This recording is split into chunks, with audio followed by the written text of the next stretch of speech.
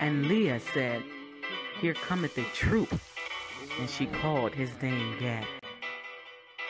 We're not the only ones who got a lot of rain overnight. Much of the Lehigh Valley saw last. flooding. Firefighters and state police had to rescue a driver who became stranded in the floodwaters on the off ramp from I 78 onto Route 100 in Fogelsville. Now take a look at this. This was in North Whitehall Township where high Overcome, floodwaters there Gad, quickly flooded roads. And people in Lower Macungie Township also waking up to some flooding this morning just after 2 a.m. Rushing floodwaters forced a car off Sauerkraut Lane and into a nearby cornfield.